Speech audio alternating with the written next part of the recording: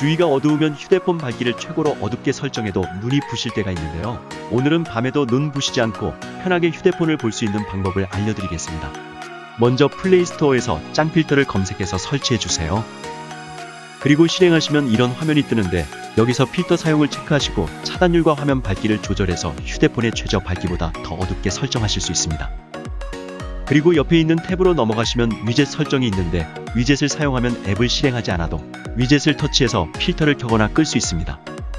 또한 상태바를 사용해서도 필터를 켜거나 위젯 기능을 사용할 수 있는데 만약 상태바를 사용하고 싶지 않다면 상태바 사용을 꺼놓으면 되지만 오류로 없어지지 않을 때도 있고 필터를 켜놓았을 때는 상태바가 계속 표시되기 때문에 상태바를 완전히 없애고 싶다면 옆으로 밀면 나오는 설정 표시를 누르고 알림 유형에 있는 짱 필터를 비활성화해 주시면 됩니다.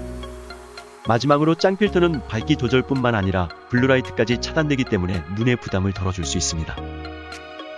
오늘은 유용한 앱을 알아보았는데요. 도움이 되셨다면 구독과 좋아요 부탁드립니다.